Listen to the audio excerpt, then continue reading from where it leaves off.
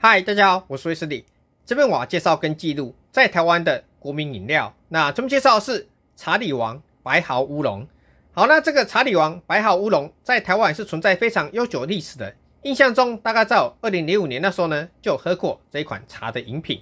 好，可以看到在包装封面上面呢，那这边一样有这个茶里王哈白毫乌龙这些相关的标题字。那下面这边一样放了一片哈这个茶叶的图片。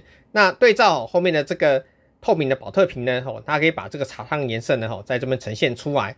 OK，那可以看到它下面这边有说，它是单细胞生茶萃取技术，所以用它这个制造出来的茶呢，吼，回甘就像现泡一样好喝。OK，好，那所以可以看得下，哈，这个茶里王的白毫乌龙，哈，它的一个好包装封面的部分，好，大致上是这样子的。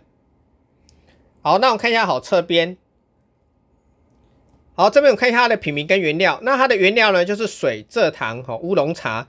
跟茶的萃取物，还有香料、维生素 C、好抗氧化剂、小苏打，OK 好这些东西，好那所以它这一款呢算是乌龙茶再加上糖哈这样的一个茶饮，OK 那其他的这个资讯呢哈大家可以再看一下上面这个文字的部分。好那下面这边可以看到它的营养标示呢，它每一份是三百毫升，那这个包装有两份，那它的一个糖含量呢是十二点三公克，大家可以稍微看一下，那售价是新台币二十元整。那这边还有它的一个二维条码部分哈，好，这个制造商的一个相关资讯，好，这边也可以让大家好稍微看一下。好，那这是瓶装好侧面的这些好相关的图文的部分。好，我们看一下好瓶子上方，那这是瓶子下方的部分。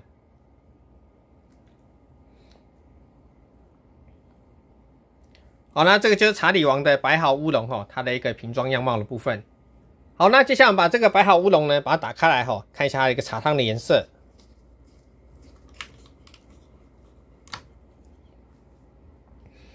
好，那我们这里把它倒出来。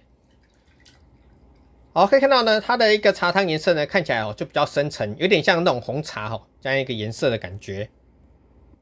那这个茶闻起来有一股加了糖的乌龙茶这样一个香气。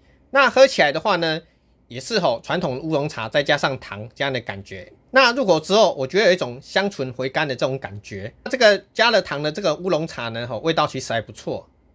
那对喜欢喝甜的朋友的话呢，吼可以来参考看看这一款这个白毫的乌龙茶。那这个是好茶汤的颜色呢，吼让大家好可以来好再参考看看。好，那这边我们就为大家介绍我们带回来这个茶里王。白毫乌龙到这边，那我是威斯利，那我们下次见，拜拜。好，那这我们来看一下由统一企业所推出来的茶里王相关的保特瓶装的茶饮，那它也跟我这个日式无糖绿茶，还有这个台式绿茶，跟白毫乌龙茶，还有清新乌龙无糖，跟英式红茶，还有这个伯爵红茶，跟这个四季春茶等这几款饮品。那日后呢，我们再为大家一一的介绍。那这里先让大家好可以看一下。